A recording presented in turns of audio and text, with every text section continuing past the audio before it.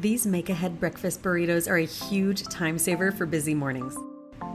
The recipe makes a large batch of 10 breakfast burritos so that you can freeze them individually, then reheat as needed. This is great for that busy back to school time of year. Place your tortillas on squares of aluminum foil.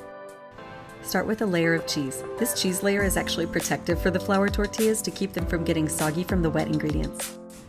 Add scrambled eggs, crumbled bacon or sausage, salsa, and cooked breakfast potatoes. I use the frozen potatoes O'Brien that have the peppers and the onions.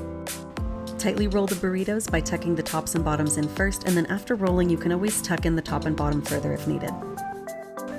Place the burrito on the foil diagonally and start wrapping by tucking the sides in first, then tightly wrapping the foil all the way around the burritos.